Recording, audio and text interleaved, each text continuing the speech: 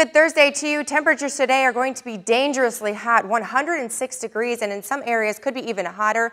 Under sunny skies, those winds out of the west at about 10 to 15 miles per hour. Tonight, our lows drop down very comfortable out there, 74 degrees. Under clear skies, those winds out of the west again at 5 miles per hour.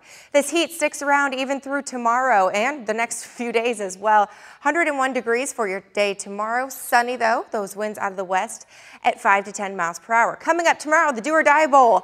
West versus East kickoff is at 8 o'clock. We have pushed the time back from 7 to 8. Uh, the doors will open at 6.30. 90 degrees, though, for kickoff time. Those winds out of the southwest at 6 to 12 miles per hour. Second half, 86 degrees. Again, those southwest winds kicking in at about 6 to 12 miles an hour.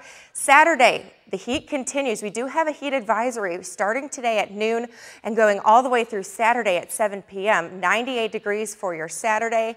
And yes, the heat does continue to stick around through the end of the weekend. 97 degrees for your Sunday, 98 Monday, 98 Tuesday, and 98 Wednesday. So please make sure and you be safe out there. Drink lots of water. Check on the elders. Please do not leave pets or your kids in the car without the air conditioning running. And drink lots of water. Wear light colored clothing.